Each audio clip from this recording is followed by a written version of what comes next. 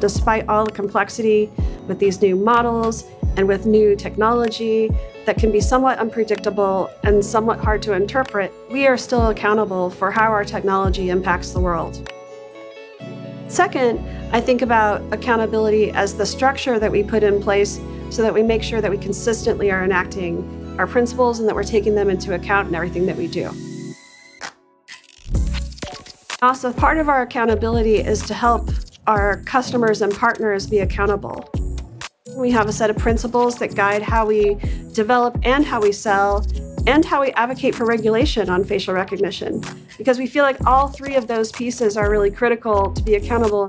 We think it has a lot of great uses and we also think there are a lot of uses that could interfere with people's civil liberties or push society in a direction that we're really not interested in supporting.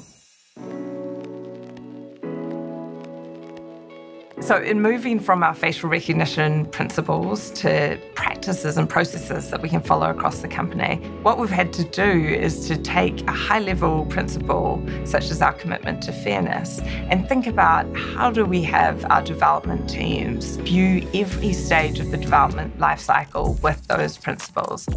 So today we have a set of guidelines that they can follow and think about these sorts of considerations at every step of the life cycle. And that's really a first in this company and I think in many other places outside this company as well.